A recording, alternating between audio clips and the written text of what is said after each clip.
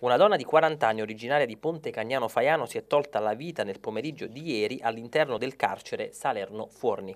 A comunicarlo il garante campano delle persone private della libertà personale Samuele Ciambriello.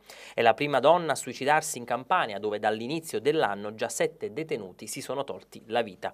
Il carcere, spiega Ciambriello, deve servire a rieducare e non a togliere la vita o a restringere diritti ed annullare la dignità.